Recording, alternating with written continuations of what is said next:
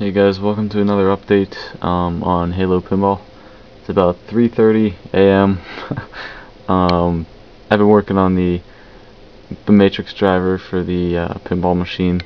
Uh, I just got it working, so um, I mean here it is. I wrote it in spin language, uh, so let me just do something here real quick. I got a little test program written up. So far I've gotten it to display text um, in two modes, just regular centered mode. It'll, it'll take your string and it'll center it on the screen. And then uh, I've got another one. Oh, you'll get to see it real quick. See that's the centered mode. And then I also got a little scrolling mode. And it'll put a little message up for you guys. Yeah.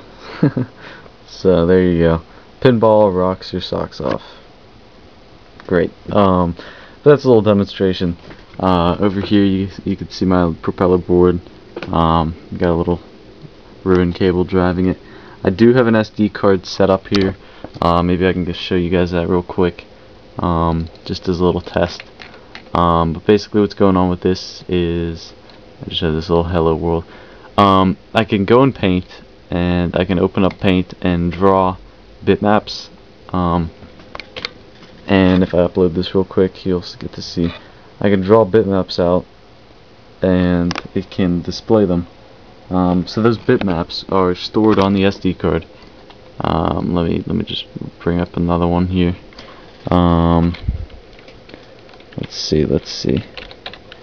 Nah, I don't want to do that one.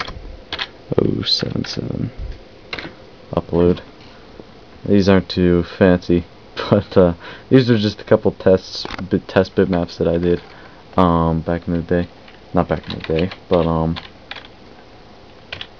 this one's a little.